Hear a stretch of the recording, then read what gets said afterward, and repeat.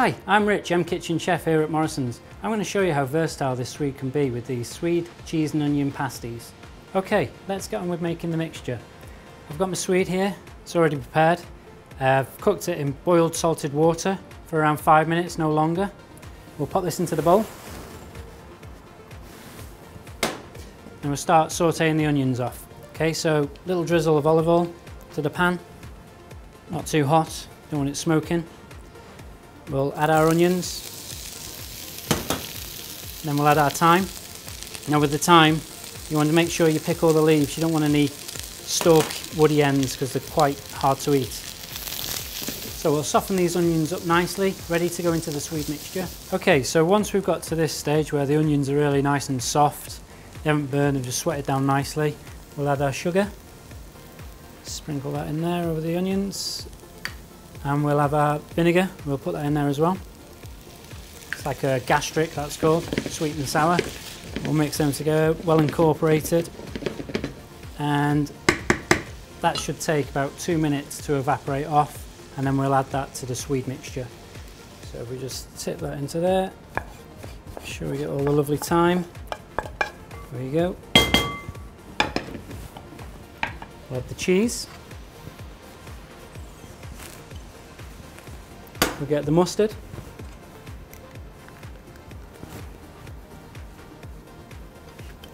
That there, and we'll get some nice seasoning. It's seasoned to taste really, this is. Personal taste. A bit of pepper in there. And we'll mix it all together.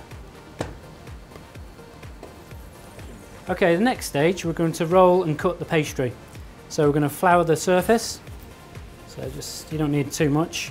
Okay, we'll get the pastry. It's best to use chilled pastry. If it's too warm, all the fat will melt inside and it'll just go everywhere.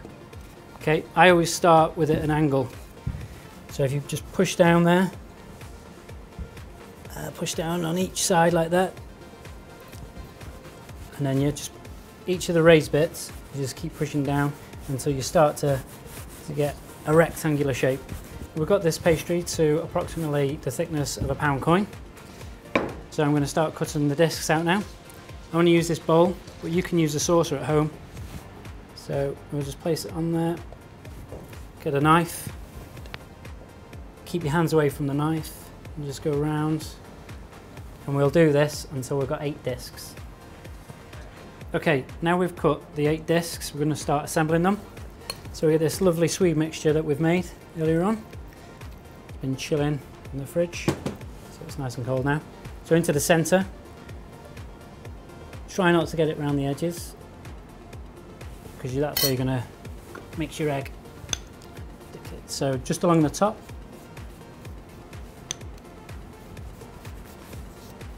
you want it just along the top so you've got that dry surface at the bottom so when you do fold it over it'll stick nicely. So we'll fold that over push it down, seal it. Any mixture there. And then we're going to stand it up so you've got a flat surface on the bottom. And then you can use a fork or your fingers. I'm going to use my fingers here to crimp the top.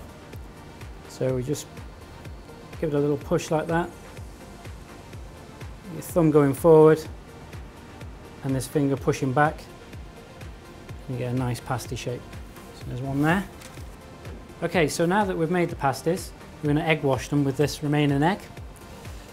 So we just want to lightly brush them, give them a nice golden colour once they're baked in the oven. You don't need to go mad with it.